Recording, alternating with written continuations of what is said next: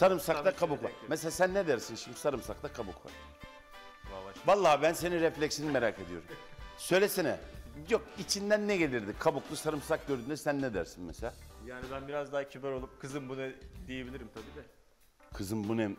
Üçüncü gün kızım bu ne dersen sen dördüncü gün sana var ya sarımsak komple kabuklu gelir. Mutfak öyle bir yer değil ya. Var mı yemeğini bitiremeyen?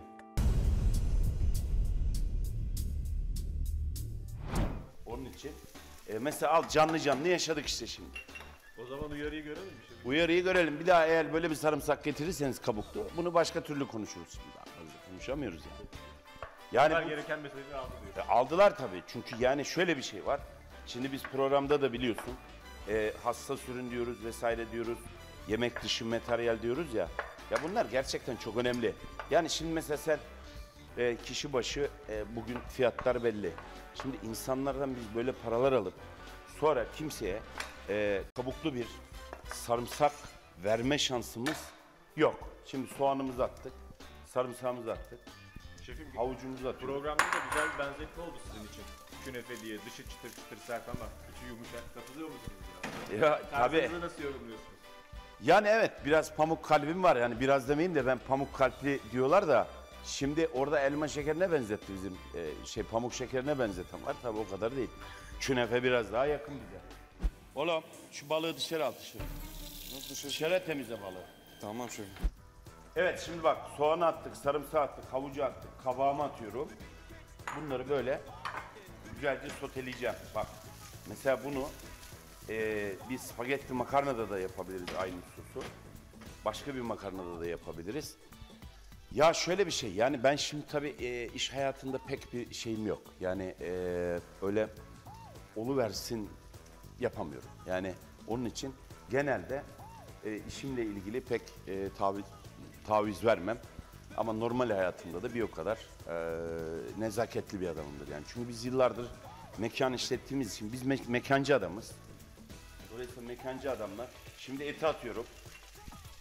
Mekan işleten adamlar olarak biz zaten biliyorsun misafiri karşılama, ondan sonra ağırlama konusunda herhangi bir nezaketsizliğimiz olamaz. Ama benim mutfaktaki sertliğim işin iyi çıkması için. Mehmet Şef neden deniz mahsullerine yöneldi? Yani eğer iş iyi iş çıkmıyorsa misafir gelmez. E misafir gelmeyince de dükkanda kimse para kazanamaz yani.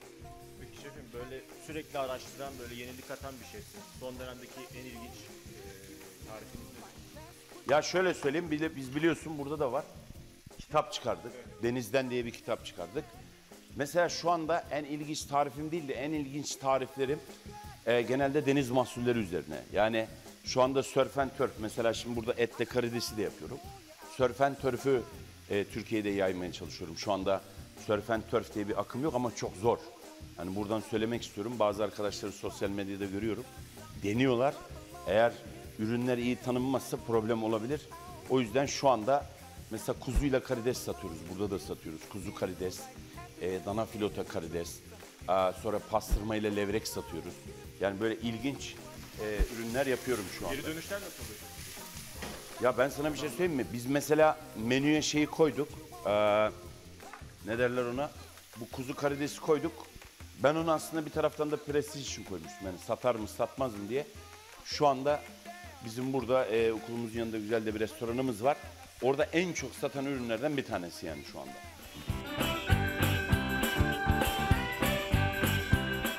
Mehmet Şef mutfakta harikalar yarattı.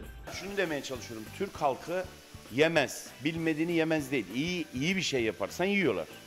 Peki mastik tatlısı da çok sevilen, sevilen bir tatlıydı. Onun için? Ya o şöyle bir şey. Dilek tutuyoruz. Evet. Şuraya bakar mısın? Kokular geliyor mu sana? Vay anam vay. Of. Şimdi ben tabii zaman zaman e, böyle tarifler yapıyorum. Mesela mastik diye bir tatlım vardı. Orada e, bu tatlıyı yapıyordum. Üzerinde çikolata kapsülü vardı. Dilek tutuyorlardı mesela. Dilek tuttun mu tatlıyla? Bunalıma girenler vardı. Nasıl mı? Bak şimdi. E, tatlıyı yapıyordum. Üzerine e, çikolata koyuyordum bir tane kapak bardağın üzerine. Şimdi sen böyle çikolata e, vurduğun zaman içine düşerse dileğin kabul oluyor. Düşmezse kabul olmuyor. Mesela böyle ilginç deneyimler yaşatıyordum. Ee, burada da menüye koyacağım onu. Ee, şöyle düşün, o çikolata kapsülü bardağın içine düşerse dileğin tutuyor, diğer türlü yok. Düşene kadar sipariş veren oluyor mu? Yok. Senin algıladığın anlamda değil öyle o. Yani biz daha böyle hani insanlar ya biliyorsun insanlar şimdi ruhen rahatlamak istiyor. anladım da hani belki psikolojik olarak ya belki bir dahakine düşer diye şey. Ya öyle bir hedef. Ya en, az, en azından hani bunu yapmaya gelenler olur mu dedi. Kuyruk oldu tabii. Geliyorlar. Yani dilek e, ve temenni biliyorsun bizde çok önemli. Mehmet Şef annesinin en çok hangi yemeğini seviyor? Bu arada ilginç bir şey yapacağım. Normal şartlarda bu erişte. Bu arada annem gönderdi bunu. Bu Bolu'dan geliyor. Annem böyle kendi Tamamen elleriyle kesiyor tabii. Şimdi burada bir tüyo vereceğim. Makarnayı biz biliyorsun genelde eee haşlar atarız değil mi? Şimdi bak atıyorum. Eee, buradan da bir tüyo vermek istiyorum ikinci sayfa eee, izleyicilerine. Makarnalar illa da haşlanmaz. Özellikle erişte gibi, işte eee, kuskus gibi, eee, arpa şehriye gibi. Mesela bu makarnayı böyle kavurup, kavurduktan sonra suyunu vererek böyle hayırla kafası yapabiliriz. Görüyor musun? Şu bak makarna, et, sebzeleri kavuruyorum. İlginç değil mi?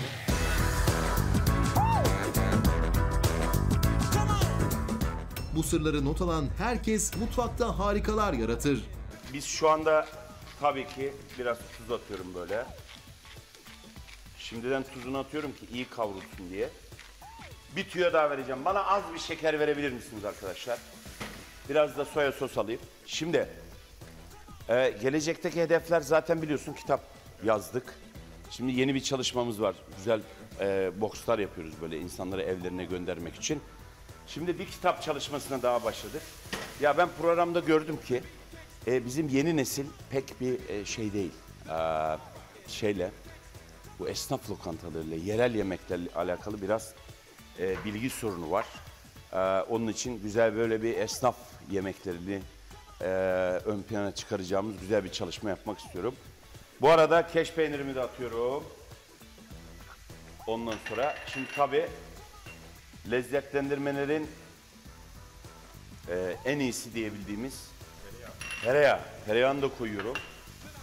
Bunları böyle güzelce soteleyeceğim. Eriştelerim de kavruldu. Mehmet Şef'ten Monica Bellucci itirafı. Monica Bellucci'ye yemek yapmak isterim abi. Ee, açık söyleyeyim. Nasıl bir menüyle giderseniz size bıraksın. Nasıl bir menüyle? Ya deniz mahsulleri yapmak isterim ona. Yani e, mesela harika bir e, de- deniz mahsulleri yapabilirim. Bir deniz mahsulleri tabağı başlangıç olarak yapabilirim.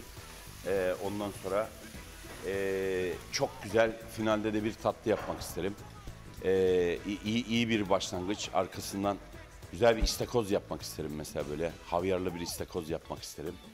Ondan sonra Güzel de böyle bir e, opera diye bir tatlı var bizim. Bol çikolatalı opera tatlısını yaparım, şeyini, pastasını yaparım. E, ona harika bir sofra kurmak isterim çünkü ben ona hayran. Allah'a şükür kusursuz oldu. Ama en strese girdiğim e, şey oydu.